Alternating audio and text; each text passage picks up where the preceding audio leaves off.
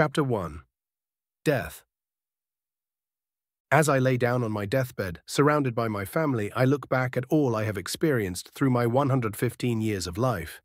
Born in a village in a barely functioning family, went through school, college, found a job, a wife, had kids, grandkids, and even great-grandkids. It all sounds idyllic, a life well lived. By all accounts, I have succeeded as a human being and lived to a truly venerable age and left a long legacy. But it all felt empty. The world always seemed a bit wrong, like something was lacking in it. Everything was tasteless and colourless.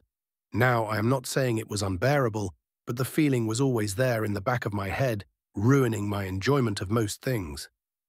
The only times I felt slightly comforted was when my mind was adrift in fantasy. But I was no little bitch, so I lived my life, worked my ass off, made a family, and grew old. As was good and proper, until one day, finally, I felt my time had come. I look towards my army of descendants and say in a very tired voice, I am glad I get to die as any man should, old and surrounded by his kids. Remember to always look after each other and never truly fight amongst yourselves. Most of them understand that this was a long time coming, so they simply smile at me, while some have tears in their eyes. I turn to one of my younger grandsons. And Ivan, stop being a little bitch and ask her to marry you already, Kekeke. I hear a snort as I finally close my eyes, my last thoughts. Fucking hope the next place isn't shit. Or so I thought. Where in the hell am I? I find myself sitting in a somewhat lavish office, my entire body giving out a slight glow. Is this my soul? Correct? My eyes snap to the old man in front of me, but my gut tells me this is far more than a mere man. Correct again, you old fart. Ass. I think as I chuckle, while the entity replies in kind. Oh, thank fuck you aren't grovelling and sputtering praises. I hate it when they do that. Well, I am quite dead, so not much to fear. Yes, not here anyway. Oh boy, is this what I think it is? You catch on pretty quickly, no wonder though considering your only real interest in life. Okay, hit me with it. Basically, souls, when they die, are given a choice, answered automatically by the essence of the soul itself. It there is a wish to rest, the soul is given rest. In your case, however, your entire being practically screams you want to live once more, so that is what you are getting. And before you ask yes, this is possible to do, for the immense number of souls of the people dying each moment because existence is infinite, and I mean that very literally. Now I am going to skip the lengthy explanation and simply tell you that since your soul is stronger than most, you are going to keep some of your memories, but most importantly, your life experience, and considering where you are going and your own desires, I will give you a good boost to your magic talents. Fuck yes! Quite, speaking of where you are going, you are getting sent to a younger multiverse to the land of Tamriel, Skyrim specifically. Considering where I could end up, one of my favorite worlds is great. Indeed, I wonder how you would survive in something like a basic slice of life, haha. I'd just end it then and there. I lived one boring ass life, I don't want another. Well, it's a good thing you aren't going there then, back to the land of race wars. You aren't going to be dragonborn. Akatosh will always choose a soul native to his domain for that role. Understandable, at least I won't have the responsibility to save the world, even if I may help out. It's good you understand. I do, however, have another offer for you, though. Sure, he'll hear it. Since it's a young multiverse and your goals are inevitably going to guide you to pursuing immortality and dimensional travel. Yes, I can discern that without you telling me. I am willing to offer what you know as a system. Oh boy, before you start screeching about cringe-ass gamers, it will be essentially a status screen with a quest tab that will give you balanced rewards. No inventory as you can solve that quickly enough with magic, and you can unlock some functions when you reach the appropriate skill with magic, or when you complete a very important quest. Fair, so why are you offering this? Basically, I would like you to form a group, or not, it is entirely your choice, and then perform some jobs for me. Since the multiverse is rather young, I will need some agents to help keep it on track so it can develop properly. I guess he'll have to speed up that magic research then. Oh, no worries, you can take a thousand years and I wouldn't mind. Now, since I can already see you accept, I will add a bit of spice to any backstory you choose. Don't worry, it will all be mostly beneficial. Cool, he'll be a young Dunmer orphan whose parents died in the Great War. They were mages and left me with at least a basic education, both mundane and magical. I also don't want to spend too long pretending to be a child, awaken my memory when I am at least a teenager. Also, when am I starting? That is very doable. You will be starting about five years before the events of the game. Now, if that is all, I would like to send you on your way. I never did ask. Who are you anyway? Hmm, call me Robert. He says with a wink, and my consciousness fades. Chapter 2 Getting One's Bearings Edited. Max POV. Hey, you, you are finally awake. Oh, fuck off. System initiated, welcome host. Okay, better check and make sure I am safe before playing with the system. I find myself on the side of a cobbled road descending a mountain leading into a valley northwards. It seems to be dawn, and I am sitting alone in front of a campfire holding a bottle of cheap mead. Behind me stands a small leather tent, and next to it a small sack with what I presume are my belongings. There is a puddle of clear water next to me, so unable to contain my curiosity, I use it as an improvised mirror. When I look at it, what greets me are bright red eyes, a sharp, noble face, shoulder-length black hair, and light grey skin. It feels weird not being human anymore, but I will no doubt quickly get used to it. I appear to be around 185-ish cm tall, which is quite a bit, considering I am still very much a teen. Or would I even be considered a teen for such a long-lived race? I hope I won't need to wait three entire decades just to be considered mature enough not to kill myself with my own stupidity. Not noticing any threat around my campsite, I finally focus back on my system. I only vaguely remember my past life, my memories mostly focusing on experience, so best get that aspect out of the way as soon as possible. Start memory integration I command mentally. Not even a moment later, I am clutching my head in pain. Ah, fuck, that hurts. A small part of me notes that my voice is a bit gravelly for someone my age. I guess all that ash fucks one up on a genetic level, huh? Okay, so as I requested, I am an orphan from the Imperial City. My parents moved there after the Red Year and both served in the Legion for almost two centuries, my father became a legionary legate of great repute, while my mother retired early and simply contented herself with being a housewife. During the Great War against the Dominion, my father suffered many long-term injuries and was also forced to retire. They had me in 4E 180, and I grew up in relative luxury of a minor military noble. I attended the local noble school and was taught some beginner magic by my father. Both my parents were killed in 4E 196, during an incident with a Thalmor agent, while they were having a walk around the city, the entire event was swiftly covered up by the Empire. Disgusted by this turn of events, I quickly left for Skyrim, intending to join the college there so I can get as far away from all of the disingenuous bullshit. Anyway, I'll sort through the details later as I should find civilization instead of sitting here brooding about memories I still feel only the barest connection to. Status Name Raven. House, Dagoth. Age 16, race Dunmer. Sign Mage. Average adult score is 10. Star 7, Dex 9, Vit 7. Mind 15, Mag 120. Oh boy, old Bobby did say he would spice it up. But I guess I underestimated just how spicy he meant. Oh well, time to teach the mongrel dogs of Skyrim how they cannot be racist shits to a god. Or, well, the descendant of one anyway. Yes, you heard it right. I am indeed the grandson of Big Daddy Dagoth, the one and only god of the Dunmer. Better not show myself before Azura's statue at all ever. Filing that absolute clusterfuck, waiting to blow in my face, for later I decided to look over my skills. Skills only represent your abilities and do not enhance them. The values are basic novice, apprentice, adept, expert, master. Mage skills Destruction Novice, Flames. Alteration Novice, Oak Flesh, Minor Telekinesis. Restoration Novice, Heal. Alchemy Novice, Enchantment Basic. Warrior Skills, Sword Fighting Basic. Traits, Fireblood. Born under the fire of Red Mountain, you are blessed with 50% resistance and 20% damage and control toward fire.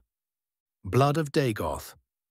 You descend from a mad religious extremist who nonetheless achieved a degree of godhood, providing you with a prolonged lifespan and the third eye trait. Third eye. The metaphysical third eye you inherited grants you perception over magicka. So I know enough magic not to die to a wolf and enough swordsmanship to use a blade as one instead of as a hammer, and looks like being a Dagoth does have its benefits. I have to admit, I am very surprised that I inherited anything from the madman. Maybe he made sure his bloodline remained supreme, or whatever other megalomaniacal thing that came to his battered mind. Opening the sack, I find my magic notes with some spells I was researching, some 150 septims, a basic alchemy kit, and an iron saber in good condition. The simple robe I am wearing is all the clothing I brought along with travel-worthy leather boots. Looking at the map I have folded in my notes, I find that I am about half a day's walk from Helgen. Quest added, reach Helgen today. Reward, an opportunity for free lodging. Huh, I guess that is what he meant when he said balanced rewards. Oh well, off I go then. After I pack all of this up. I groan, reminded of the annoying fact I was not granted any kind of inventory. General POV. Some hours later, Raven can be seen absent-mindedly picking flowers while walking along the road. At least I don't have to eat them since most people actually write down recipes these days. He shivers as the next thoughts come to mind. Imagine having to eat a giant's toe. The flower picking continues for some time until suddenly he hears a child scream not far in front of him. Fuck, I hope it isn't bandits. I still don't even know if I can fight other people competently. He takes a deep breath and follows the noise with a determined yet cautious look on his face. Soon he spots a Nord girl, running away from a lone starved wolf, just barely managing not to get mauled as she notices the robed elf in the distance. Quickly forming a plan, he shouts to her while pulling out his saber, Run towards me, and when you get close, jump to the side. Catching a glimpse of hope, the panicked child immediately listens to the adult's voice, and in seconds she only meters in front of Raven, the wolf not far behind. Raven takes one final deep breath and yells, Now! She throws herself to the side, just in time to not get covered in a torrent of flames, the wolf being not as fortunate whimpers pitifully for a moment before becoming extra crispy and leaving this mortal coil. A couple of seconds pass as both of them take long breaths and try to calm down. Well, I sure as hell ain't getting a pelt out of that one, Raven says with a strained chuckle, attempting to calm his nerves after brutally burning another living being. The now surprisingly calm child looks at him and smiles, reminding him of just how ridiculous his new neighbors, the Nords, are. Thank you for saving me, mister, she says cheerfully. It's no problem, kid. I am guessing you are from Helgen, right? She nods. I am heading that way, you might as well come with me. He waves for her to follow him and starts walking. Okay, my da owns the tavern. He will give you a drink for sure. Well, we have to hurry up then. Don't want to be late for it. The elf happily urges her on, already thinking of how nice a drink would be after all that. An hour later, they enter the tavern. The girl immediately rushes the man who looks like the owner of the place and starts excitedly retelling her adventure. Halfway through the tale, the man stops listening to her and walks toward Raven. Be welcome, traveller, and thank you for protecting my daughter. Those damn wolves are getting braver every damn day. He says, shaking his head. Anyway, name's Villod, the owner of the tavern. I hear you want a room. Yes, just for a night and a hot meal and bath would do as well. The elf requests with a tired voice. Villod nods happily and signals toward a free table. Make yourself at home. You can stay for free whenever you like. My thanks, sera. I will be taking that bath now, if possible. Sure thing. Dinner is in half an hour. Raven nods and walks into the room Villod pointed him to and takes his time relaxing in the large wooden basin inside, the warm water taking out a good chunk of the day's stress. Oh, it seems that notifications are hidden when in combat, huh? Quest completed, protect the innkeeper's daughter, reward free lodging. Hidden quest completed. Defeat the wolf without the child getting harmed. Reward, minor warrior's blessing. Huh, hidden quests are a thing as well. Neat. After a very long bath, Raven finally leaves the small room and grabs something to eat, quickly inserting himself into the patrons' conversations while fishing for rumours. It was mostly complaints about the Thalmor and their justiciars hunting down people willy-nilly. One makes a comment about all elves, but quickly corrects himself as he hears the tale of Raven saving Vilod's daughter. Who could have guessed? If you aren't a s'wit people, don't treat you like one. Raven inwardly chuckles and then nearly facepalms as he realizes he had inherited his current self's mannerisms. First day on Tamriel, and I already got to save a child, fight a wolf, and my greatest achievement yet. Got a bunch of Nords to respect a Dunmer. Raven reminisces as he lays in his bed. Five years until the world goes to shit. That is if my knowledge even holds up still. I will have to grind my magic like a madman unless I want to become dragon food. Suddenly that little power-up from Dagoth doesn't seem all that bad. And with those happy thoughts, his mind drifted into sleep. Chapter 3 Start of the Journey, edited. Raven got up early the next morning and quickly busied himself with crushing the flowers he collected during his little hike using his alchemy kit, a rather simple mortar and pestle, in hopes of selling the low-level salves. They were not anything special, but they would stop infections and heal cuts, something a bunch of farmers and the like were happy to pay for. This is surprisingly therapeutic, Raven thought with a hum as he made a nice red paste with his pestle. Morning, Mr. Elf. The little girl from yesterday, whose name he learned to be, Sigrun greeted him loudly. She looked to be completely recovered from the previous day's events, bringing an easy smile to Raven's face. Hey there, kid. Up early, I see. He greets her. Well, you said you would be leaving early, so I had to say bye. She immediately states as if it were the most obvious thing in the world. How polite. Well, since you are here, how about you show me around? I need to visit the store anyway. He packs his kit and slowly gets up, while the girl almost attempts to drag him with her, with how excited she was. After being enthusiastically shown all around, Helgen Raven managed to sell the salves he made for a dozen septims and bought enough supplies to last him the trip to Whiterun. It will take me about two days to reach Riverwood and another to reach the city, the real Skyrim is far larger than what the game had shown, which is honestly a good thing, though the travelling will be annoying. He mumbles to himself as he looks over a rudimentary map before he simply shrugs. Oh well guess it's time to break all those inane laws about mages teleporting around. You seem to be one of them mage types, eh, Elf? The shopkeeper asks almost politely by Nord standards. He and Raven were having light conversation as the elf looked over the man's stock. Yes, I dare call myself a practitioner of the arcane arts. Raven responds with a bit of dramatic flair. Ha, good to hear. The man chuckles at the elf's theatricality. Anyway, I got an interesting little ring some time back from my supplier, said it helps mages cast more spells or something. Let me take a look.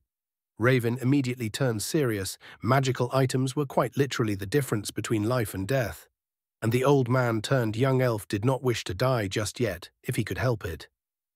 The shopkeeper takes out a simple silver ring with very tiny blue veins along the surface, and while Raven was not good enough to enchant items himself, he was taught how to identify them relatively quickly, and, much to his satisfaction, this appeared to be a ring of magicka. A lesser one, true but enough to fuel the flame spell for a couple more seconds at the very least. How much? he asks the shopkeeper with a serious look. Well, considering that you aren't an ass like your western cousins, I'd be willing to part with it for a 100 septims. The man smirks. Huh, that is a surprisingly fair price. Who would have guessed?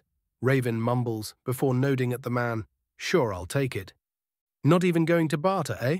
The Nord raises an eyebrow, only to get waved off by Raven. The price is fair, so there is no need. The man smiles, seeming pleasantly surprised. Raven quickly puts the ring on and gives him the money. Immediately he feels his magic rise by about 15, which is a pretty decent increase. Thank you for this. Might save my life. Sure thing. Safe travels. The man nods. Raven waves to him as he leaves back to the tavern. Soon after saying his goodbyes, he leaves through the gate and starts walking down the road towards Riverwood. The first day of travel goes relatively peacefully. The only interruption was another starved wolf going from well done to congratulations in record speed. He spends his resting time learning the next level of his pyromantic spells, specifically the Firebolt, which is far more complex than simply channeling magicka through your hand and setting it on fire. It required the magicka to be condensed and sufficiently heavy, for a lack of a better word, to be launched in a straight line. Surprisingly, as one advances through the ranks, all spells seem to retain their relevance, with flames becoming thicker, firebolts curving and fireballs exploding far more violently. At least that is what the notes he took from his father's journal say. I always did think that the spell system was far too rigid in the game. Raven nodded to himself, satisfied with the change. The morning of the second day, he finds himself walking next to a small forest between the road and the nearby river. The one leading into the big Ass Lake north of Falkreath, if I remember right. He scratches his chin in thought as he walks and leisurely enjoys the fresh air. He stilled completely and then quickly hid as he heard two men speaking in a brash tone just beyond the trees. What are we going to do to that Breton bitch? one asks. She froze Thorold's foot off. What do you mean, what are we going to do? The other answers, she might be a bit young, but we can have some fun before we off her keke keke. I don't know, man, seems kinda wrong to me. The first shifts uncomfortably. His friend spits on the ground. Well, then you shouldn't have offed that dickhead in Whiterun, and you wouldn't be here. Fuck you, man, I didn't run away, so I get my rocks off. Eh, more for me then, you little pussy. The slightly more honourable bandit huffs and walks off. Raven, hearing this, gets properly pissed off as any self-respecting man should in this situation, and starts sneaking behind the little shit that suggested something so vile.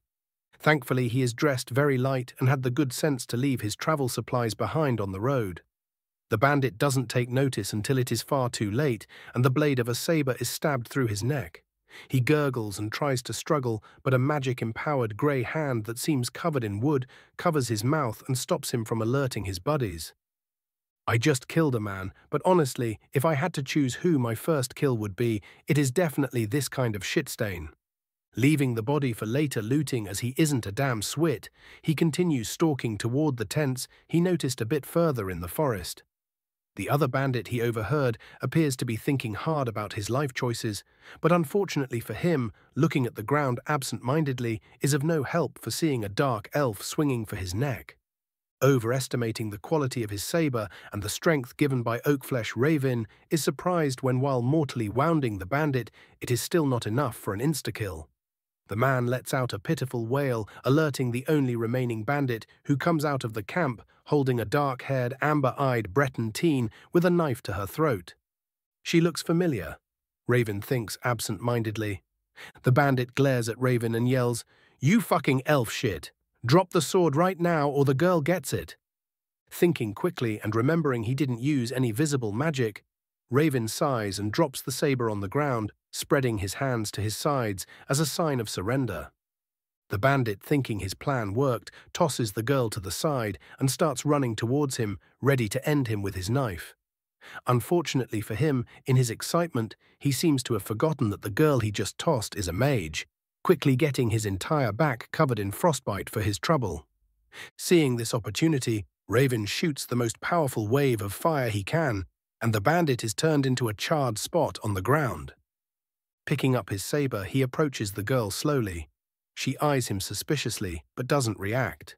He raises his hand in a show of assurance and asks, Are there any more of these n'wahs around? The girl is silent and simply shakes her head. Sigh, okay, good. And he promptly turns and starts retching, realizing he just burned a man alive. About a minute later, he gets himself together and looks at the girl whose face shows an expression of curiosity, almost as if confused by his reaction. Fucking kids shouldn't consider this normal. What are you doing in the forest anyway? he asks her. She looks at him for a minute and says, I ran away from my people and ran into these fools. If they didn't surround me, I could have taken them. Ah yes, because shooting Nords with frost magic is a great damn idea, Raven snarks at the young woman, she looks offended and huffs. Well, do excuse my inability, but not all of us can simply burn everything without tiring out immediately. Fair, fair. Anyway, why did you run off? He asks as he takes a seat to rest up a bit. My mother wanted to sacrifice me to become a hagraven, she says in a deadpan voice. Well, fuck. She seems to be a mage and has nowhere to go, might as well. Well, I am travelling towards Winterhold to join the College of Mages there, it's pretty far away, but it should be safe from any persecution you might face if anyone finds out your origins. She thinks about it for a bit and nods but looks at me with suspicion. While 'tis the best option I have, I won't let myself be turned into one of your fetchers, elf. I will be watching you. He looks at her gobsmacked, starts laughing, and then asks, almost unsure, I am fairly certain you aren't Argonian. Shaking his head, he heads back toward the first bandit he offed. A silence follows for a good minute before Raven shrugs and says, Well, I am looting the shit out of this place and will leave for Riverwood soon.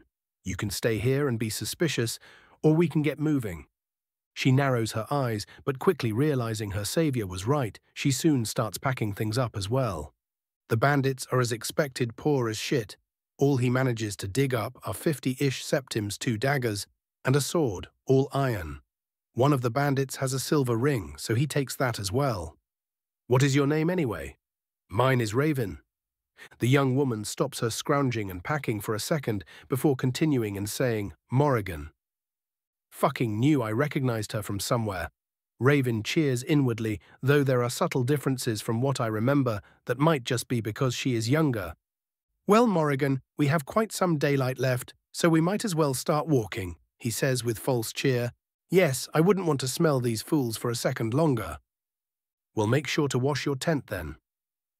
Ugh, can we swap? she asks, almost pleading. Nope, he says, popping the pea. And now followed by the grumbling witch, he sets off towards Riverwood. Chapter 4, Chapter 5, Whiterun Hold, edited. They arrived at Riverwood late in the afternoon. The village looked like it held about 200 residents and was far more spread out than one would expect of the time period. There were even some farms across the river, as well as a palisade surrounding the entire place. Guess they aren't idiots, at least, Raven mused as they approached the gate. The guards at the gate wore the Whiterun emblem on their scaled armour and seemed sufficiently alert for their position. Ho there, travellers. What brings you to Riverwood? greets one of the guards. Just passing through and heading to Whiterun sera, we are looking to stay the night and will not cause any trouble. Raven answers while giving a pointed look at his companion, who huffs and looks to the side. The entire walk on the way here, she kept pestering him about every little thing, so much so that even with his century of experience, he almost threw a tantrum. The guardsman nods along, looking him over just in case, but finding no reason to be suspicious. Should be no problem. You aren't merchants, so there is no toll, just keep your nose clear, and we'll be good. Of course, he nods and heads inside. The inner village looks surprisingly clean, and children are running around the place, causing all manner of havoc. Shame what the war will do to this entire place. I may be able to kill the shit out of Ulfric before he starts his whole re-quest. But he would just be replaced by someone who doesn't even pretend to have principles, and I am under no illusion I can stop a bunch of belligerent Nords from smashing skulls. The urging of his new witch companion draws his attention back to the present. They continue inside and find a general store. Raven manages to sell off his loot for some 50 septims and buys a well-made shirt of padded armor for his chest. Being stabbed is rather cringe, so he preferred avoiding such a fate. His companion bought a simple but still quality dark grey robe so she doesn't stand out too much, the price of which irritates him to no end. But at that point, he had listened to her pestering the entire way to the village and had no more patience, so he relented and let her waste the money. He also easily noticed a golden claw in the corner of the shop, but decided not to open that can of worms right now. While he might be able to slowly and methodically clear the nearby barrow, it is far too risky, and he cannot be sure it is just as dangerous as in the game. And not far more, there could be a damn dragon priest inside, and he isn't Nerevar who can just chim his way out of death. After they were done with their impromptu shopping trip, they entered the Sleeping Giant Inn, immediately being placed under the suspicious glances and outright glares of the patrons, while the owner had her own calculative look on her face. Of course, Delphine would have at least an idea about me. My father was a fucking Terminator at the Battle of the Red Ring, Raven grouses internally. He did not want to get involved with her while so weak. He ignored her gaze and sat down across from his companion. So how are you liking civilization so far, not missing your bone-covered cave-dweller friends? She huffs. Why would I miss those fools, and besides these ones aren't any better?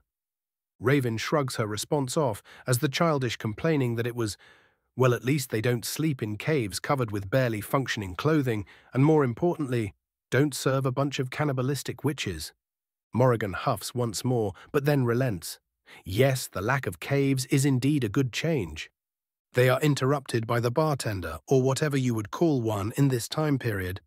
Orgnar, if he remembers correctly, they order their food, a good stew and something to drink, while also reserving a two-bed room. They continue discussing the difference between the Nords and Forsworn for some time, until they are unceremoniously joined by a somewhat lanky orc. Evening, you two. Can I have a seat? He asks with a youthful yet gruff voice. Sure. The elf answers before his companion can give her expectedly scathing answer. Thanks. He takes a seat next to him and asks, You two heading out to Whiterun, I hear. It appears that word spreads fast. Yes, we are headed to Whiterun and beyond. Raven answers easily, What's it to you? Well, I am also going that way, and thought you might use some company. I may not look it, but I am a beast with a spear. Oh, and name's Durrock, by the way.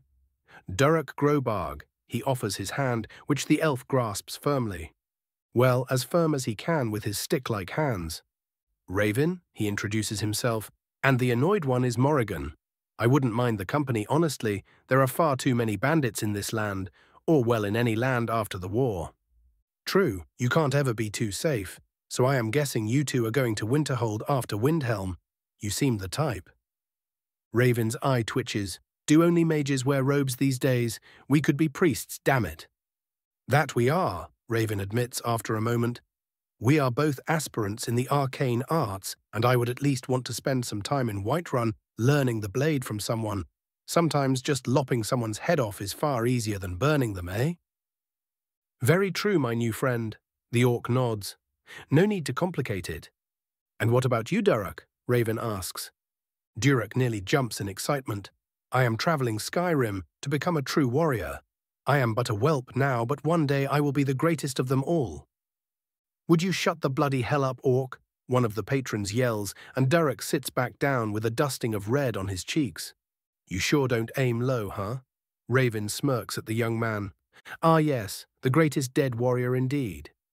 Morrigan snarks, but surprisingly, the orc is not offended and merely smiles. And that is the best part. No one believes me, so it will be so much better when I show them my might. He flexes his hand, and doesn't react when there is barely any movement upon it. They continue chatting into the night and later split up and go to sleep.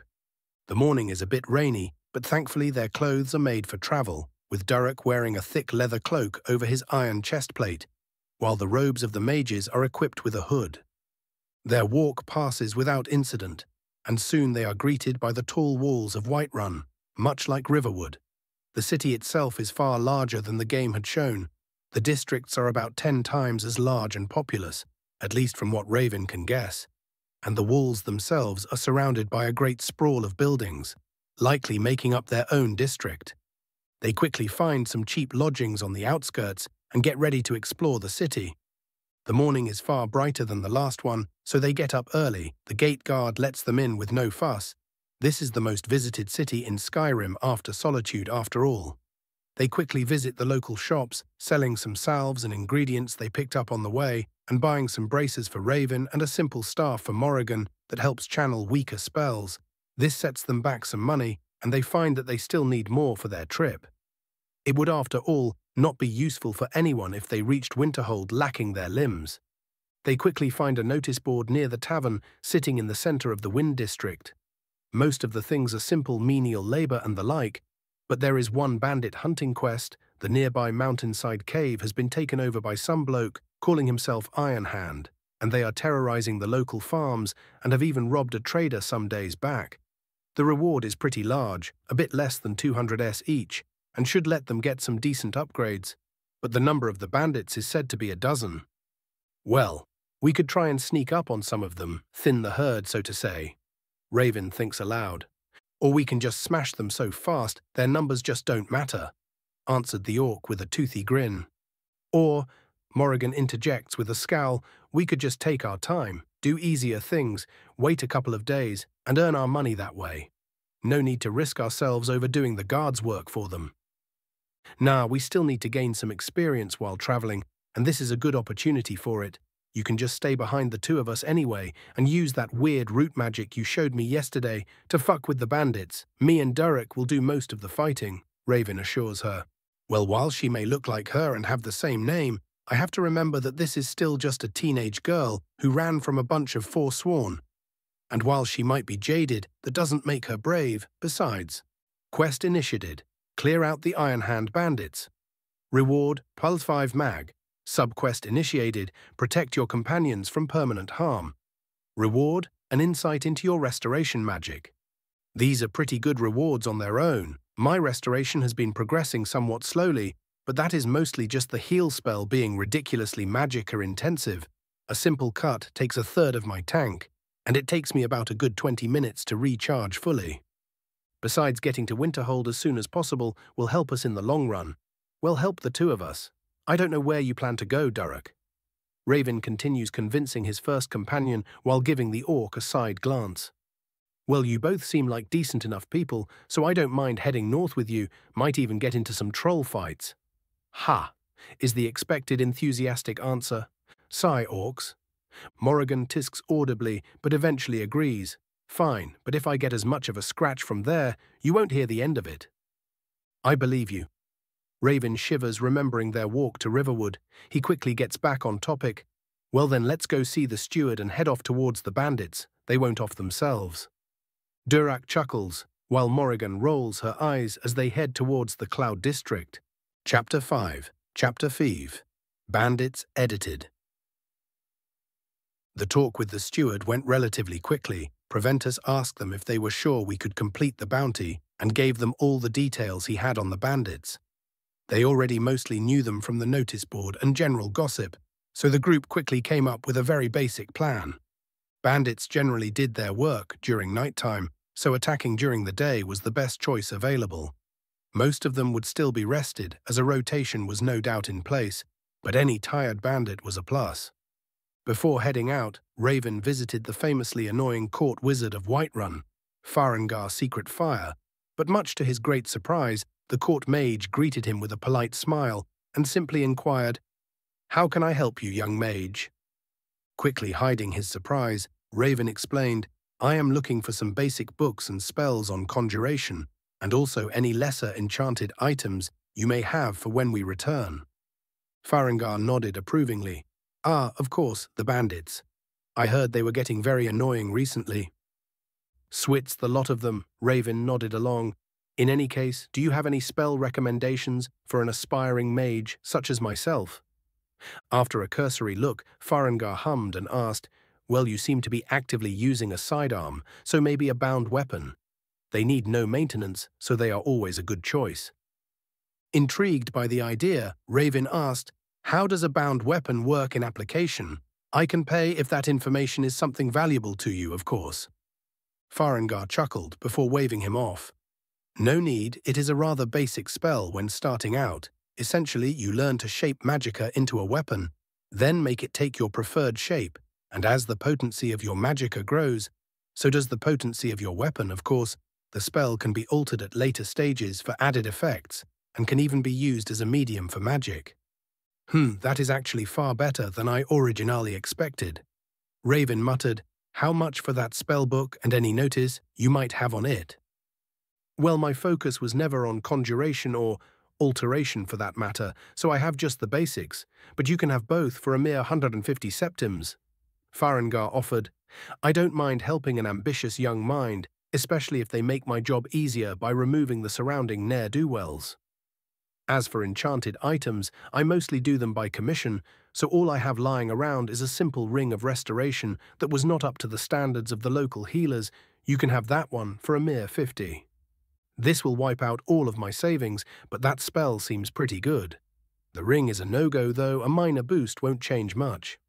Raven took all of three seconds to ponder before giving his answer, I'll take the books for now.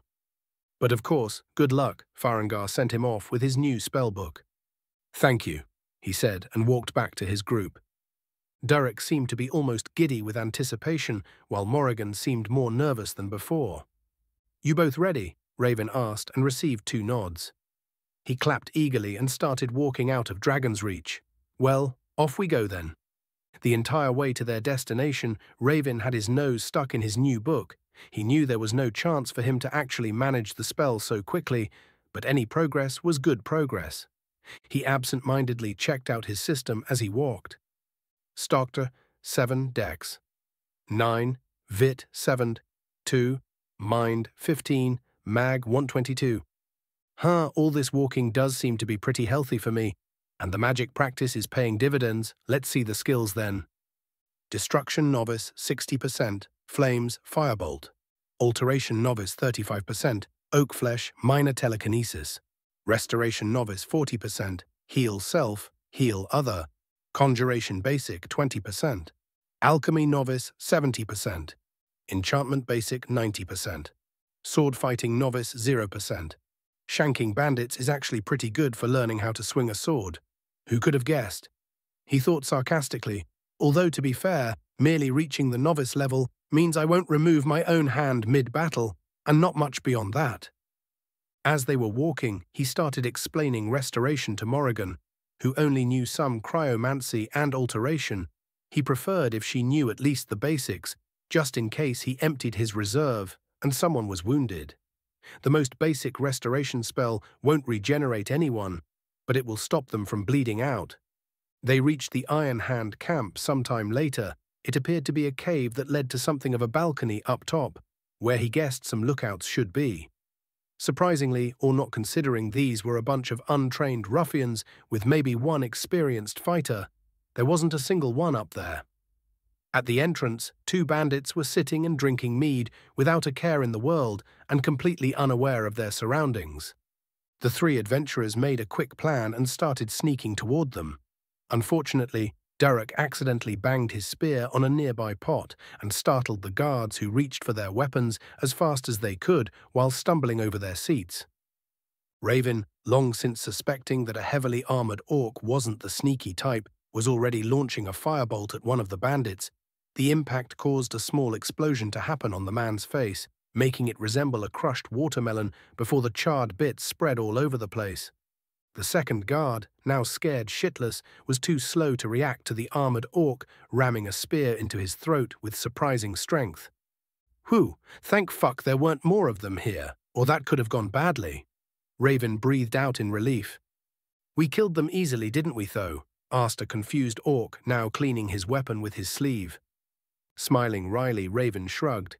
Well, yes, but imagine if they called the entire camp, we would have been completely and utterly fucked.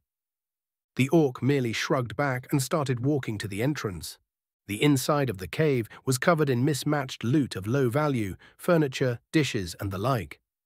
I am guessing the actually valuable stuff is upstairs. Raven remarked, Well, might as well keep going, never know when they might notice us.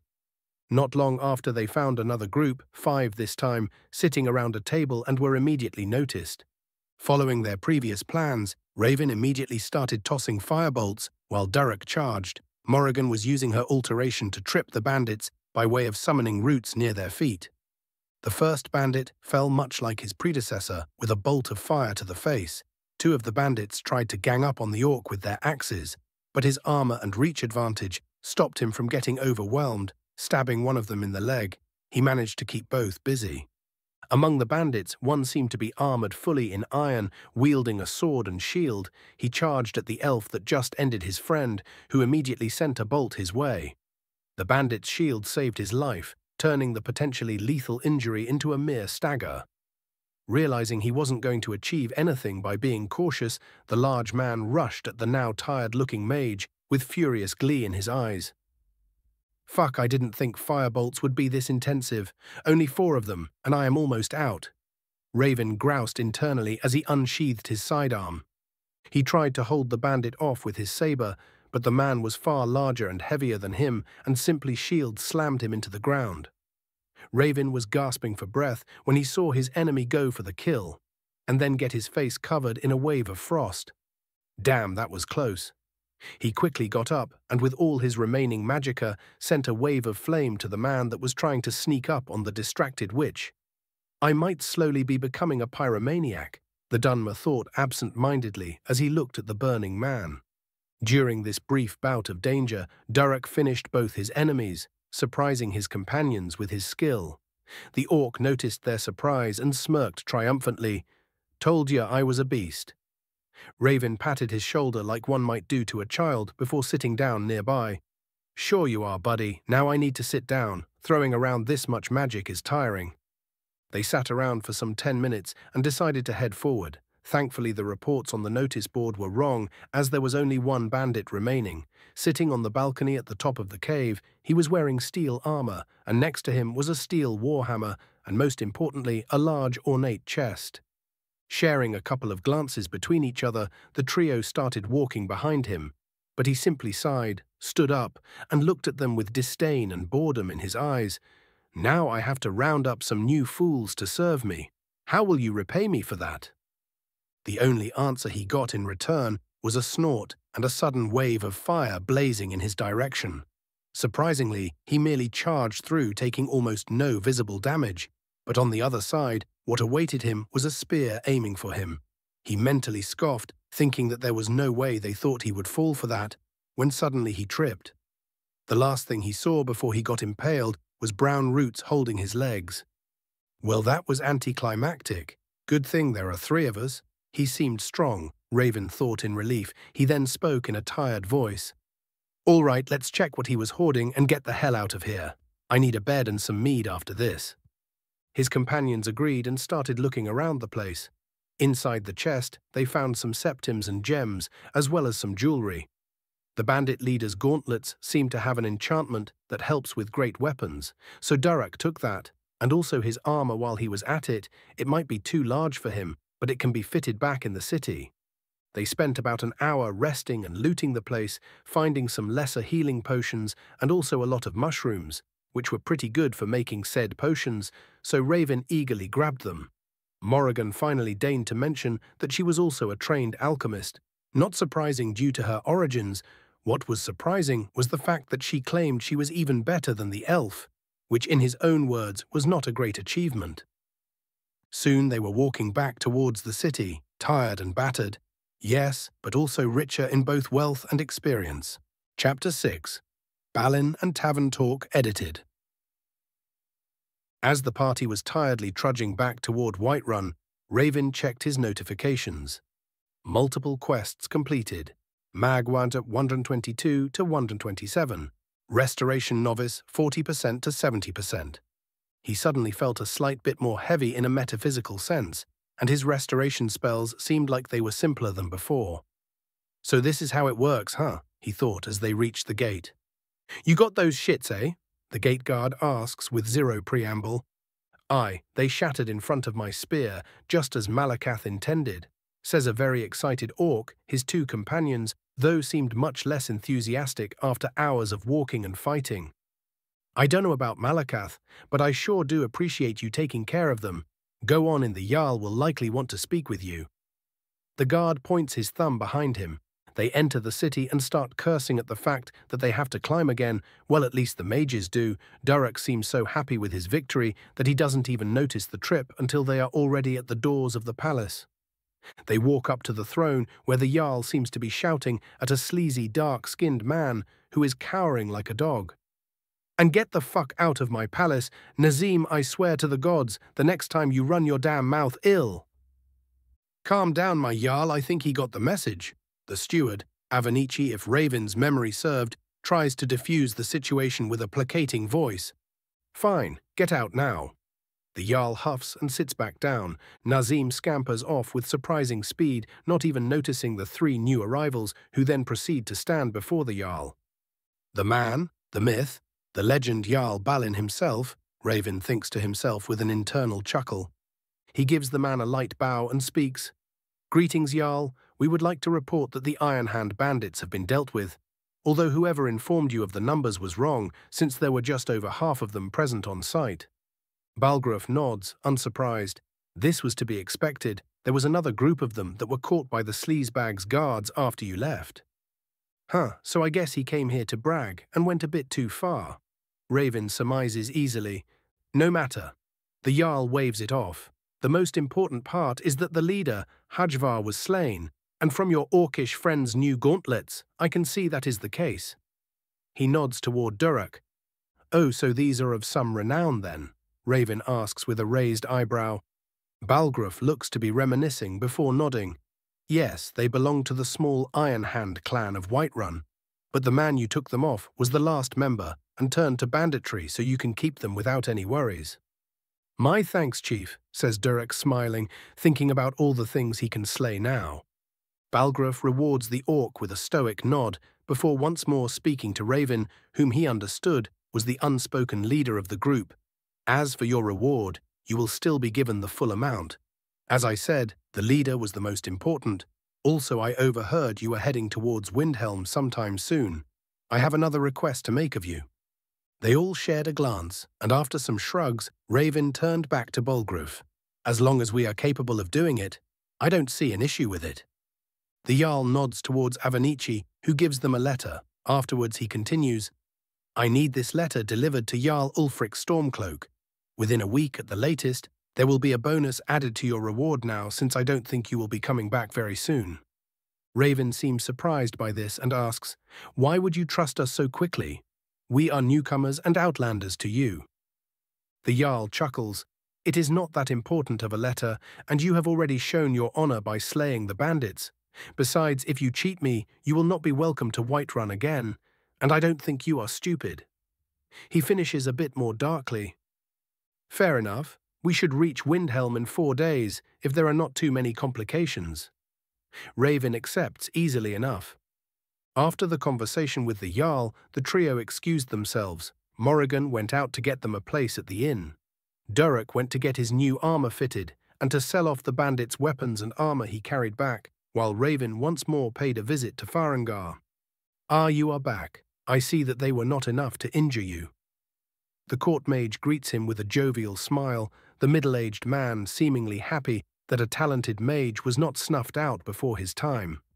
Raven waves his hand in a so-so motion. One of them did rattle me a bit, but we came out on top. I still didn't learn the previous spell I got from you, but since we will be heading out for quite some time, I need some books on wards, enchanting and alchemy if you have them. I do. Just a lesser ward and some recipe books, though the enchantment manuals are very pricey. He says to the elf basically telling him that he cannot afford it. Raven shrugs, already satisfied with his gains. Sure, I'll take the first two then, and any notes on the wards if you have them. Of course, the older mage starts rummaging through a chest in the corner of the room, and after sneezing from all the dust inside, he comes back. Here you go, that will be 200 septims. Raven pays him and goes to find his companions. As they are eating in the tavern late in the evening, they strike up a conversation. So, Morrigan, what are your plans when we get to the college? Raven asks, while chewing on a sweet roll. It was not as good as the confectionaries he was used to, but it would do in a pinch. I plan to get so powerful no one will bother me, of course, and rich too. Say what you will about living freely in the wilds, but after tasting the luxuries here, I will need all the money I can get. She smiles with greed in her eyes. What have I created? Raven thinks with a slight building horror. He turns to his orcish friend. What about you, Darak? What are your long-term goals besides beating the shit out of anyone and everyone? He asks with a smile. The orc's simple outlook was definitively starting to grow on him. Well then, I will beat the shit out of not mere everyone, but everything. Just imagine what fun it will be to crush those pesky, totally not goblin Falmer and their master's toys. Ha! A small, evil part of Raven told him, Well, at least I will have someone to take the hits for me then but he was mostly entertained by the orc's enthusiasm. What are your plans, Raven? All you ever mentioned was going to the college, and nothing beyond that. Morrigan asks him, her eyebrows raised in curiosity. He shrugs in response. Well, my plans are pretty similar to yours in essence. Get powerful enough so that people prefer to leave me alone instead of trying to kill me for my ancestry, and also so I can explore the world without much issue. Your ancestry? Durek asks, confused. I am pretty sure that the Nords don't dislike you that much. Morrigan merely hums along, waiting for the real explanation. Raven scowls lightly before writing himself, Let us just say that my house is not well liked. Even after after all these years, the house of Dagoth is still reviled for the deeds of my ancestor. Durek merely looks confused while there is a hint of recognition in Morrigan's eyes. I can see how being related to that madman might make people bay for your blood. Ah, yes, dear old grandfather did get really high on that Lorkhan juice, didn't he? Raven smiles wryly. Now she looks surprised. He actually had kids. Even the hags knew he had a massive thing for your Saint Nerevar. Raven actually laughs at this one. Oh, yes, he did. His moon and star, I do believe he called him. But as any megalomaniac, he wanted to leave a legacy just in case. Which is funny because my father went on to become one of the best legionary legates in the war. The only reason he was never made general was his house. He must be rolling in the Red Mountain as we speak. They all hear a surprised gasp behind them, but it was quickly silenced, almost as if on instinct. Raven turns around and finds a dark elf woman standing behind a corner, listening in on them. He simply signals her to come forward, more of a command than a request, as shown by the fire roiling in one of his hands. All the other patrons quickly move away just in case, while the tavern owner looks super pissed, but keeps silent for now. The elven woman approaches slowly, while Raven has a slight look of recognition in his eyes. Isn't she that mercenary you can hire at the Hunter's Inn or something?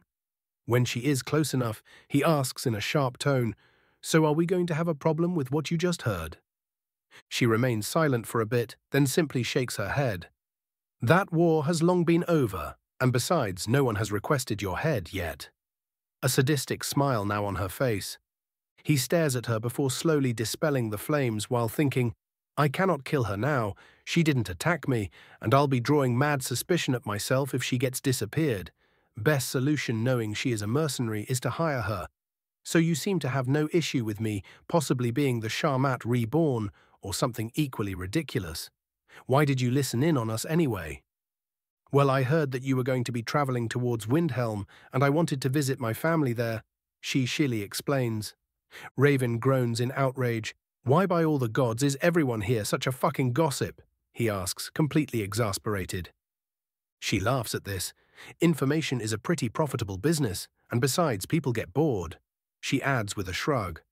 So I am guessing you want to head out with us? He asks, already tired from the entire event. Yes, and don't worry, no cultists of Azura will learn of this from me. Consider it a bit compensation for barging in. She smiles and walks off, not before hearing Raven yell out, Be at the gate the morning of the next day. Both of his companions look at him as if waiting for an explanation, mostly Durek, but Morrigan is also fishing for details. Fuck it, give me a drink, and I will give you the full history lesson. He sighs for the nth time today and starts weaving the story of false gods, reincarnations, Chim, and a dude with three eyes wearing a pot on his head with no other clothes. Chapter 7 The Companions, Magic and Third Eyes, edited. Raven's Povey. After a long bit of story time, where Durek almost fell asleep three entire times we went to bed, the innkeeper yelled my ears off about fire magic inside the establishment but said that she wouldn't be charging extra due to our recent bandit slaying. Nords really are all about reputation. Once you prove yourself even a bit suddenly, you aren't the dark elf, but that guy who did that one thing or another. Considering that many of my memories of my previous lifetime have partly faded and that the young raven has slowly replaced the old man, the feeling of being honestly respected for your work is very refreshing when compared to the nest of vipers that was the Imperial City. Morrigan decided to go to the alchemy shop and get some work done there, while Durek and I went to the companions, hoping we could get a fighting lesson or two. As we approach the overturned ship-turned drinking hall, we hear a great bit of noise and shouting from the inside, while the smell of alcohol almost knocks me out on contact. The orc next to me merely sniffs and opens the door. As soon as we enter, everyone turns quiet. The companions turn to us, some in curiosity, some trying to be intimidating, but joke's on you, I am an old fart, no amount of glaring will make me flinch. Durek, on the other hand, speaks loudly, What are all you looking at? Me and my friend came here to get some practice in. Any of you sober enough for it, or should I get you all some milk? Seeing as the orc doesn't even give a shit about the atmosphere, most of them break into laughter. The bluntness of his request seems to fit the place perfectly. Fucking Nords, I swear to Dagoth. Soon we are approached by the infamous twins of companions and are led outside. Durak goes to spar with Farkas, while I get his brother, and while the both of us put up a valiant effort, we get our shit kicked in. Repeatedly, for four entire hours. Although, to be fair, it is not all bad.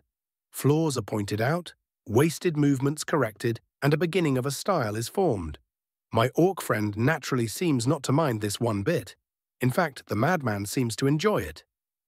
After our requested ass whooping, we pay for everyone's drinks, as they didn't even ask us for a fee for the training and sit for them for a bit sharing stories. We are questioned about our recent victory, and Durek starts boisterously retelling our fight. Most of the companions are Nords, so they don't react too positively when magic is mentioned, but it is balanced out by us being vastly outnumbered, so they do give me some grumbling respect in the end. When it comes to the slaying of the bandits' leader, I am pleasantly surprised when they all approve of the way he died. Apparently he was quite the coward, even if a skilled one, and many people were robbed and killed by his dishonest ways, at least in the words of the companions. There seem to be a couple of elves in the group, but they don't seem to hold too high a position, which is honestly to be expected. The elven part of my mind seems to always focus on such thoughts, and in truth it would have likely formed a large part of my personality if I didn't have an entire lifetime of experience to filter them out. After the retelling, Durek decides to stay and continue fighting with anyone who wants to challenge him, while I head out back to the tavern to find a quiet corner and study a bit. I decided to stop learning the bound weapon for the moment, as after seeing what my firebolts do to people I need a ward as soon as I can get one, so the goal for today is to learn how to make them, and make them quickly. It takes me a good six hours of continuous trying and failing until I remember that I have a goddamn bloodline power that is basically made for magic.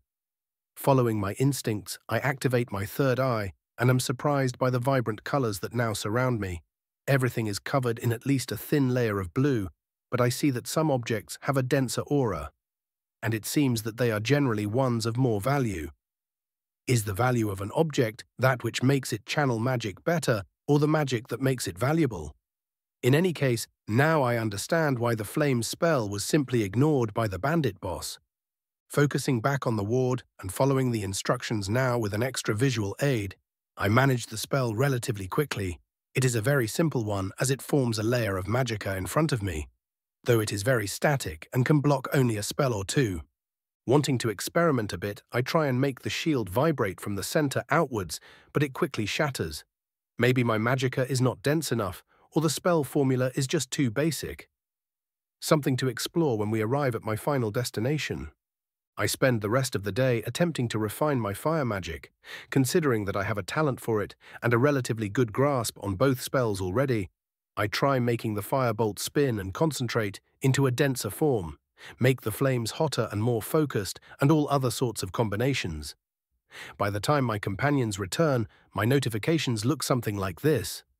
Sadita 7 to 7.1, Dex 9 to 9.4, Vit 7.2 to 7.5, Mag 127 to 130, Restoration Apprentice, Heal Self, Heal Other Lesser Ward, Destruction Apprentice, Searing Flames, Firebolt, Sword Fighting Novice.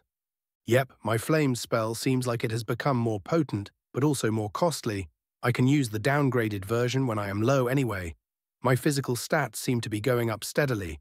It's a good thing I get enough food every day, or I would be perpetually tired. I also seem to be slowly filling up and becoming less of a walking twig, but the change is minuscule for now. Anyways, my companions arrive from their adventures for the day, and Durek informs us that he has decided to join the companions, and as his first quest, he will take us to Winterhold. When I jokingly asked, does he want to get paid, now he looked almost offended and simply shook his head. Morrigan sits next to me and whispers, I have followed that elf woman from yesterday for a bit. It really does seem like she is just packing up. I nod and whisper, a thanks while she continues on. I have managed to get the restoration spells you showed me down. Can I get the alchemy book now? Ah, yes, I did promise I would give it to her. Apparently learning healing spells was not cool enough for her, or something equally childish, so I had to motivate her somehow, and the alchemy book seemed to interest her. Well, not like I need it at the moment, I am focusing on far too many things. The three of us chat for a bit before turning in for the night. Tomorrow we are leaving Whiterun and heading to Windhelm. I just cannot wait. Snowy racism land here I come. I think with false cheer before I fall asleep. Chapter 8 Chapter 8 The Valtheim Towers and Eastmarch, edited. We got up early and after a hearty breakfast headed out toward the gates. There, as expected, awaited Janassa, the elf from the tavern two days back. We finished all preparations and headed out. The first day of walking went by quietly with me, once again nose deep in my magic notes, scribbling whenever I was not afraid of tripping, Morrigan gathering random herbs on the way, and Durek excitedly looking everywhere in hopes of impaling something. He did get somewhat lucky with a very starved wolf jumping us, but that mostly just annoyed him as he got excited for nothing. Janassa was quiet the entire way and simply spent her time enjoying the walk. The next day, we were passing next to the two towers, connected by a thin bridge over the river we were following. I believe the place was called Valtheim, and it is usually a bandit camp, but the skeleton brazenly standing next to the entrance proved otherwise. Quest initiated, eliminate the Valtheim necromancer. Reward, a VT 0.5. Looks like your wish got granted. Durek, we have a necromancer on our hands, I quip, trying to get a count of the undead inside, using my third eye. The necromancer offends the ancestors, we must paint his blood on the walls, says Janassa coldly. Must we really charge into every situation we come across? What if the necromancer is more powerful than us? Asked Morrigan, already getting annoyed with having to fight again. If he was powerful, the skeleton would have sensed us ages ago. I swiftly explain, no, its presence is barely worth calling a proper animation, and I can only detect about a dozen of them of about the same strength. Then what are we waiting for? Let's smash them, the orc says, already putting on his new steel helmet. Fine, when he starts throwing lightning storms at us, don't blame me. Morrigan huffs and also starts getting ready. The presence I detect on the other side tells me that the necromancer is not really that magically powerful, and most of his reserve is tied up keeping the skeletons going. Poor fool didn't even get the memo that you need rituals to have the undead be viable on your magicka. I relay these thoughts to my companions, who seem a bit less tense. Well, two of them do. The remaining one is just vibrating in place, ready to go in. They signal to me that they are ready, and I start casting my firebolt, now spinning in my hand, it should be much faster and more precise than before. I launch it at the first skeleton, and it falls apart almost immediately. Sensing that the necromancer has been alerted by the connection being cut, I signal for us to rush in. Cutting through the skeletons seems really simple until ice shards start raining from above. Thankfully, I was able to detect them in time and started throwing out wards on top of us. They hold, if barely, and the necromancer already seems tired out if his magicka outline is anything to go by. My orc and Dunmer companions seem in their element as Durek smashes the skeletons with his spear and Janassa dances around them as much as the thin bridge allows her. The undead are quickly dispatched, and we race toward the tower before the rogue mage can escape. When we enter the room he is in, he looks at us with a maddened face, pulling out a scroll. You will not stop my glorious rise all of Tamri. He is suddenly stopped with a massive improvised javelin to the face. Durek walks to retrieve his spear and spits on the ground. You talk too much. Quest completed. I laugh my ass off internally as I feel just a bit more energetic than when started the day. We start scouring the place for loot, but don't find anything too good except for some money and a bit of food. No matter, anything is good at the moment. We decided to spend the night here after clearing the remains and burning them. The next day, we reach a nearby inn without any issue and are served some surprisingly good food by a cook who refuses to show himself. Hmm, this seems familiar for some reason, but I can't put my finger on it. We spend our time in the inn, resting and chatting with the passing travellers who give us rumours of a troll blocking the way to Windhelm with a rather hefty bounty on it. When we hear this, I don't even need to turn around to realise who is shaking the entire table with excitement. When it comes to advancing my spell work, I finally got the bound weapon down. It is slightly weaker than a steel weapon for now, still being better than the iron one I started out with. The blade itself is mostly dark grey with red accents, and surprisingly, it looks like a normal sabre if a bit more jagged at the guard and tip, and not whatever spiked hell the game's conjured weapons are from. We leave early once more, and thankfully there is no troll waiting for us on the road. Huh, someone must have already taken care of it, and now I have to deal with a moping orc on the road. Joy. Morrigan laughs at the poor orc, and we continue on. almost forgetting the presence of our other companion, well, she seems to not mind. I shrug as I take out my book and continue rereading the ward section, thinking about the troll situation, even if they are weak to fire, they are still massive tanks, and all it takes is one mistake for us to get mauled. So I will leave the troll slaying for when I can do it from a good distance with magicka to spare. At the gates of Windhelm, we are greeted by disdainful looks of the guards. One of the shits even spits on the ground when he sees me. And what do you want, elf? he asks in a very loud and brash tone. I give him a very deadpan look and say in the most dead voice I can muster, To enter the great city of kings, of course. My tone seems to go over the dumb fuck's head as he simply smiles and says, Well, why didn't you say so?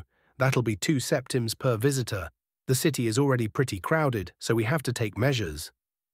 Like hell, I will believe that, but honestly, I am not spending my day in front of a city while freezing my balls off.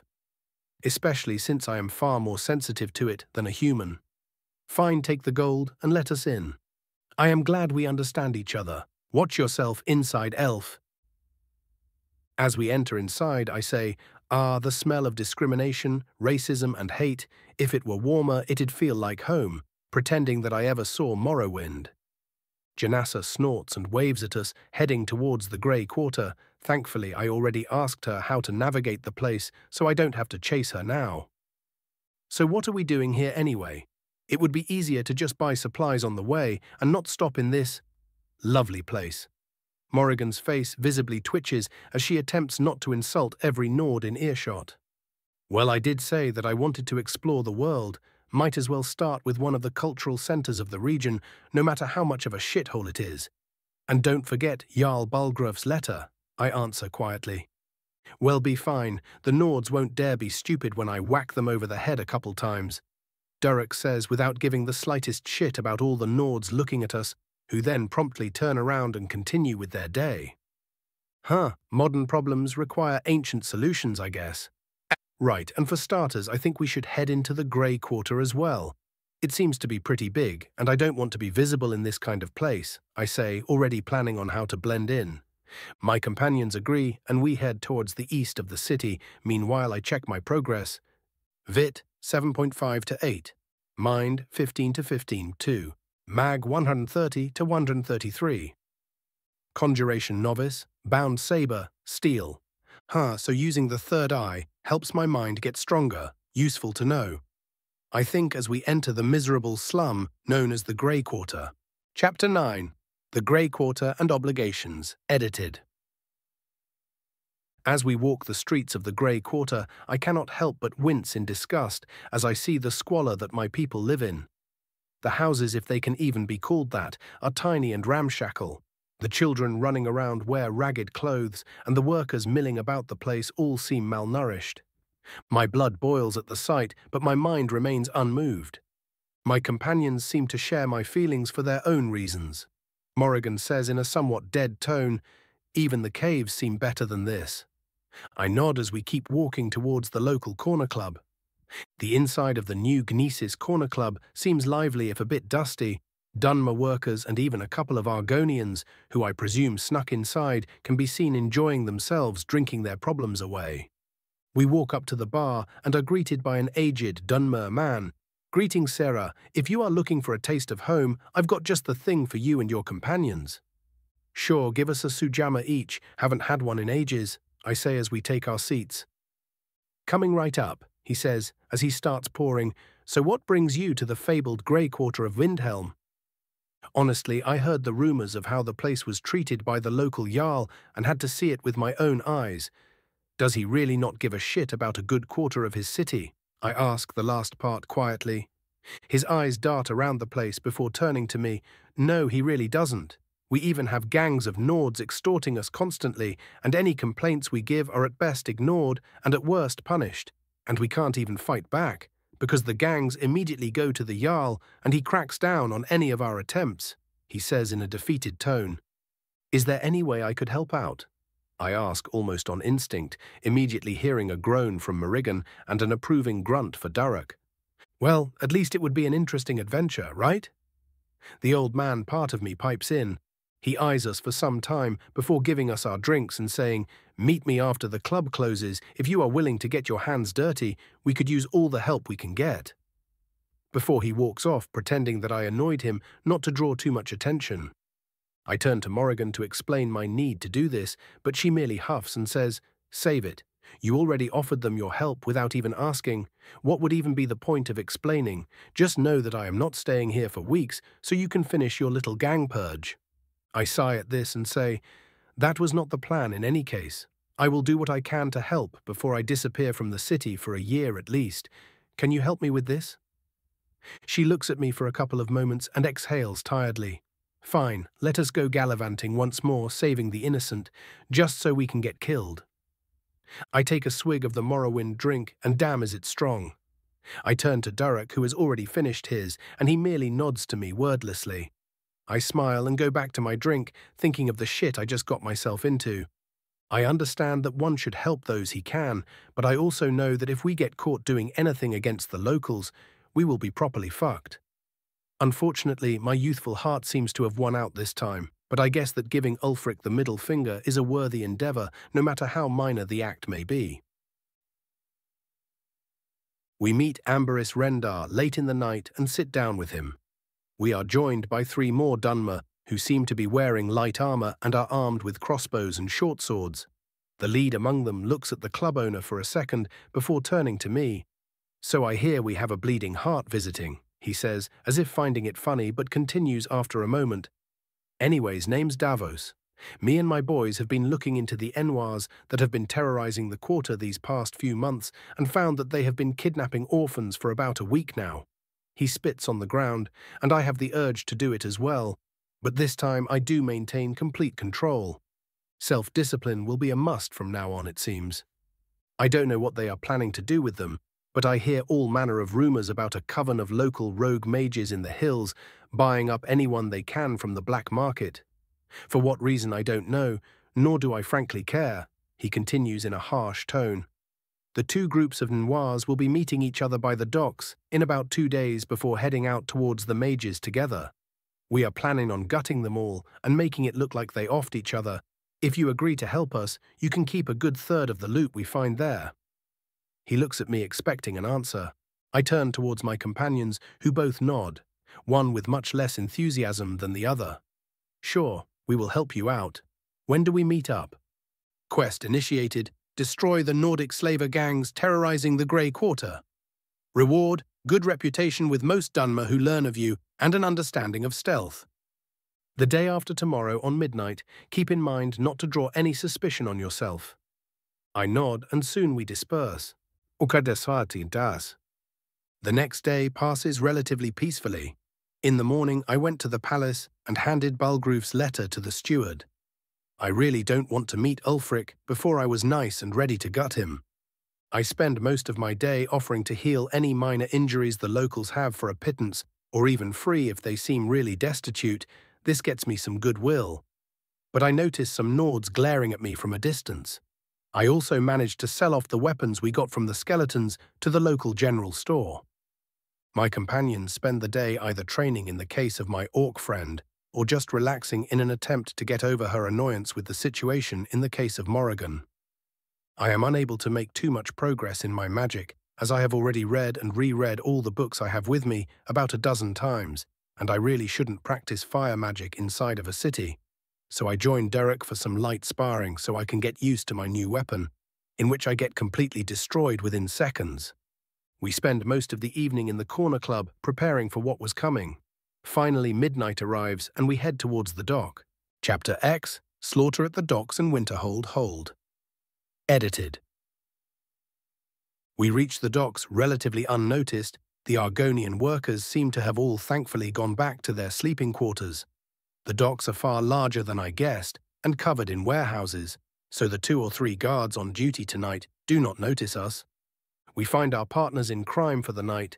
There are six more of them than before, all equipped with the same gear I saw them carry when we first met. Davos notices us and approaches while handing us all black cloaks. Good you came. The gangs will be meeting in about ten minutes. From what we gathered, there will be about a dozen each, so we must hit them with all we have if we are to have a chance. I ponder this for a moment and ask, should I use magic attacks? I don't think that any of the Nords use pyromancy, so it would be harder to hide our involvement. He thinks for a second and shakes his head. We can always just dress one of the dead ones in some cheap robes. We've also prepared some witnesses among the dock workers. And besides, if I didn't guess you were a mage, I'd have no reason to even invite you here in the first place. Understandable, I nod. That's fair enough. What can we expect from the guards? How quickly do they respond? Usually they don't give a shit about what is happening, but now we are going to be making a ruckus in one of the warehouses, so we can expect them to get here in minutes at worst. He explains quickly. What do we do after we have dealt with them? I hope you have some plans for a getaway, I question, my voice cautious. He snorts, Don't worry, me and my group have a bunch of safe houses, but for you, we have prepared a boat at the edge of the docks. While I won't stop you from staying in Windhelm, Azura knows we could use the help. I know that you are just passing by and will be under a lot of suspicion considering you already have some reputation in the city. Will he try to fuck me over? Is there really a boat? We can always just swim away. But that will be very uncomfortable. Hmm. I have an idea. Can you show me to the boat? It would be better if we stocked it up in advance so we don't have to lug our things while we run.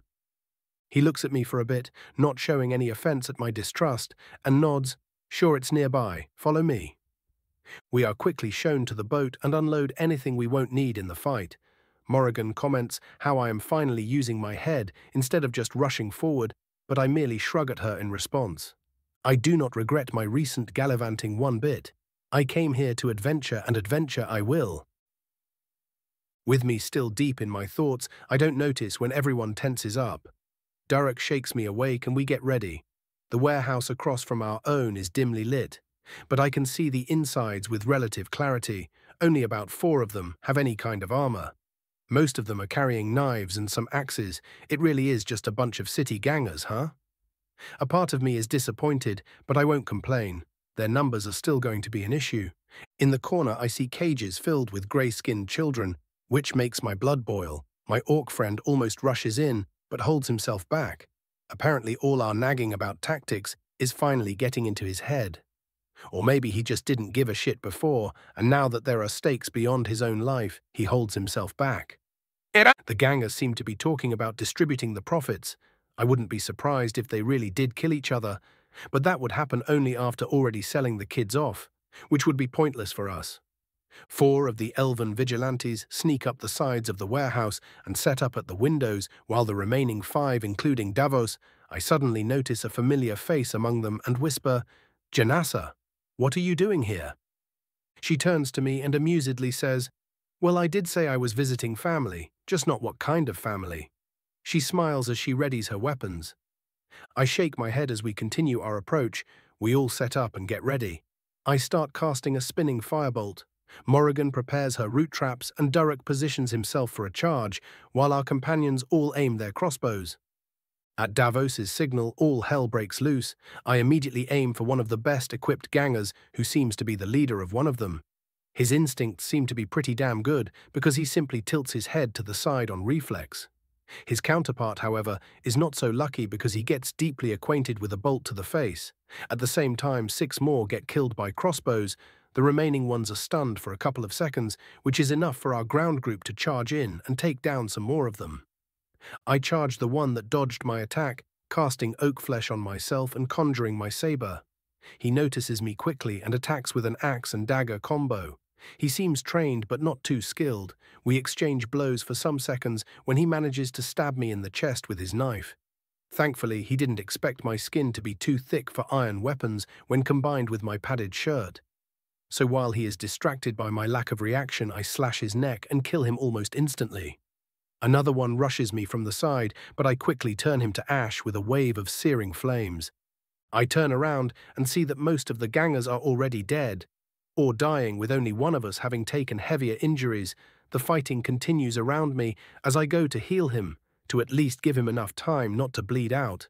He nods a thank you, and when I turn around to rejoin the fight, it already seems to be over with Davos finishing the last one by decapitating him. We are rejoined by the ones on the roof, with one remaining on lookout duty. The elves quickly free the children, some of whom are too tired to even walk. We quickly grab whatever of value that the gangs brought here and are warned by the lookout about the approaching guards. Davos, who is now carrying a child, tosses me a ruby, which I clumsily catch, and says, I know we merely offered a share of the loot, but it was more a formality. Thank you for your help, and may Azura give you luck. Before rushing off to the winding passages of the docks, quickly joined by the rest of his people. The three of us do not tarry, even if we could still grab the weapons to sell. It won't matter if we are caught. We run towards the boat and aren't noticed by the approaching guards.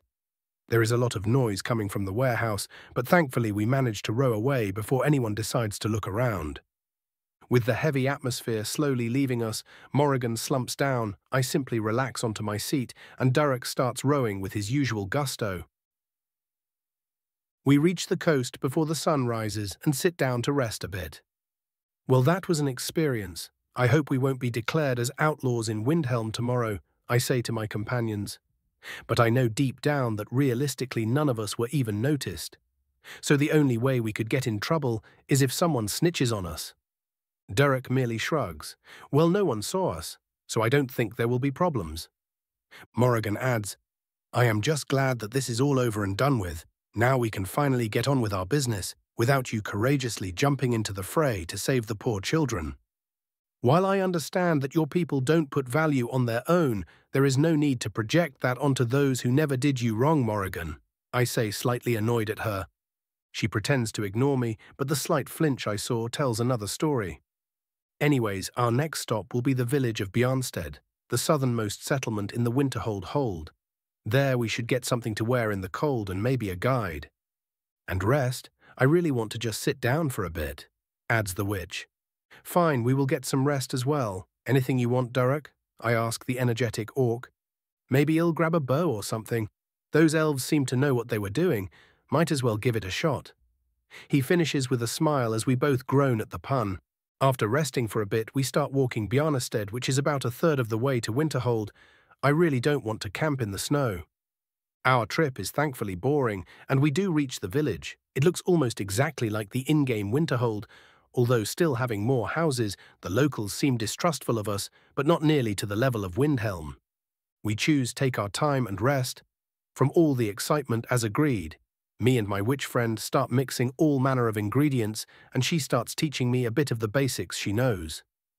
Durek visits the local shop and gets us some thick cloaks with a good quality longbow and some arrows for himself and goes to practice with it. At least he won't have to throw his only weapon anymore. Speaking of his weapon, I didn't really pay attention to it. But now that I take a closer look, it's a goddamn orcish long spear. Which, yes, does make sense. The dude is an orc, but those damn things are expensive. I guess it's his father's or something. I managed to get some healing done around the place and earn enough coin to cover our stay here. I wonder how much I would be able to earn when I become a master and go around healing noble kids or something. That will be nice. The next morning, we take a commission to hunt down an ice wraith that has been terrorizing the local livestock. We find it with relative ease, and while it did almost rip Durek's throat out, I hit it in the face with a good firebolt just in time. This earned us some more money and goodwill. After that, we mostly spent our time carousing with the locals and planning out our route. One of the local hunters even offered to guide us there for a fair price, which we accepted. Better not risk stumbling onto something very dangerous on our own, and I do for a fact remember there being a load of Falmer caves around. And from what we learned, there are also a bunch of Rieklings towards the mountains. Hmm. I sense some Goblin slaying in the future. Later that day, we also got news of a terrible fight erupting in the Windhelm docks. People are saying that some maddened mages from outside the city controlled the poor innocent Nords into killing each other. And people are buying that shit. Seriously, what the fuck? We leave early the next day. The road to Winterhold will take us a day and a bit, which means at least one stop, and there are no inns this time. Marching to the snow as a fire-attuned creature is an experience I would most definitively wish upon my enemies. Seriously, it's almost like being burned alive. But in reverse, thankfully we did buy those cloaks, or I would straight up be trying to warm myself with my spells at this point, and I assure you that is a terrible idea. Morrigan seems to share my opinion of the weather and is shaking even with the cloak. Durek, as is his usual MO, is just not giving a flying fuck. Seriously, what are you made of? Our escort doesn't even seem to notice the cold, but that one I can understand, he is a Dagoth damned Nord. On the road, we are spotted by a snow bear, but the hunter instructs us to keep our distance and calmly walk away. They are not aggressive in this time of the year. Thankfully, we are left alone. The night is an absolute hell for me. The tents are warm but are constantly invaded by cold winds no matter what I do. It is like having a too small blanket with one end constantly being uncovered. Everyone seems amused by my overreaction in their own words, but I am built for volcanoes, not glaciers, damn it.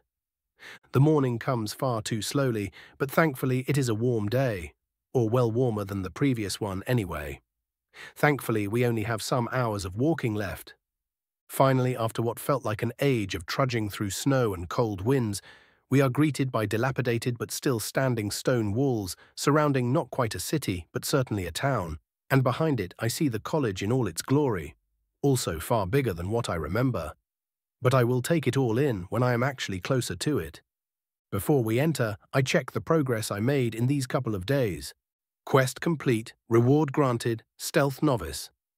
VIT 8 to 8.2.